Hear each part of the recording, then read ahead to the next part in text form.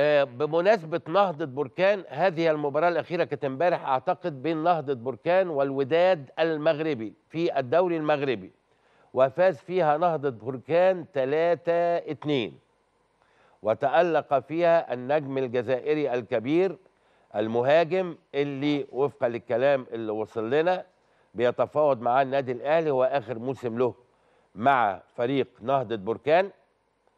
وفي صفقة انتقال حر أعتقد هو من توجو طبعا توجولي. أعتقد إن الأهلي محتاج له بس أكيد لازم يمشي واحد من الأربعة الأجانب اللي عنده. يقال إن اسمه لاما كوجو لابا كوجو من توجو. توجولي لعيب جامد قوي قوي قوي يعني لازم يراقب بشدة في المباراة القادمة يوم الحد إن شاء الله. من قبل مدافعي نادي الزمالك لأنه لعيب هداف وهو هداف هناك هداف الدوري ولاعب من طراز خاص جدا وزي ما قلت وفقا للمعلومات اللي جات لنا أن هناك مفاوضات قوية جدا مع النادي الأهلي.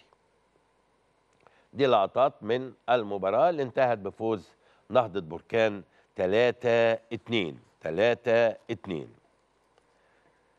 وهو صاحب الهدف اللي هتشوفوه دلوقتي حالا ده هدف رائع جدا ولعيب كبير جدا ويعني حاجة فاخرة. حاجة هو اللي قدامنا اللي على الشاشة هو الراجل ده اللي قدامنا ده على الشاشة. لعيب قوي ولعيب مهم ولعيب هداف لعيب هداف.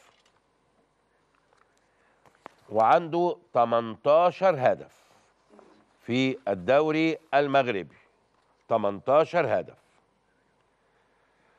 طيب